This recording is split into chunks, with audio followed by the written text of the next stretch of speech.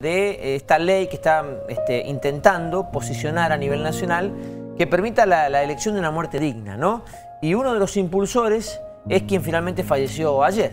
Daniel Ostropolsky, estamos hablando de este dirigente radical que de hecho tenía muchos años dentro de, no solo de la militancia radical, sino también ocupando puestos fundamentales, como por ejemplo fue el representante de los abogados en el Consejo de la Magistratura a nivel nacional. Y en los últimos meses había tomado especial relevancia porque mm, junto a Jimena Latorre y Alfredo Cornejo estaban impulsando esta ley de muerte digna. Uh -huh. Es decir, la posibilidad de, cuando ya no hay médicas para llevar adelante, de acuerdo a una afección que puedas llegar a tener, alguna enfermedad que puedas llegar a tener, decidir el momento del punto final. Por eso es que él, a partir de esta enfermedad que tenía, lo decíamos hace un ratito en los títulos, conocido como ELA, estaba impulsando. Lamentablemente, la ley todavía no se puede tratar en el Congreso de la Nación a pesar de eh, los pedidos y a pesar de la insistencia por parte de algunos partidos de nuestro país, pero ellos entienden que esto en algún momento va a salir, como de hecho lo tienen otros países del mundo.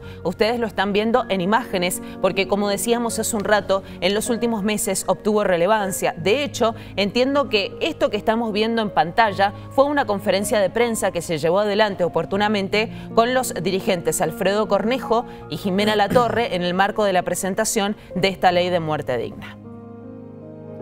Entiendo que tenemos el tuit del gobernador de la Exacto. provincia.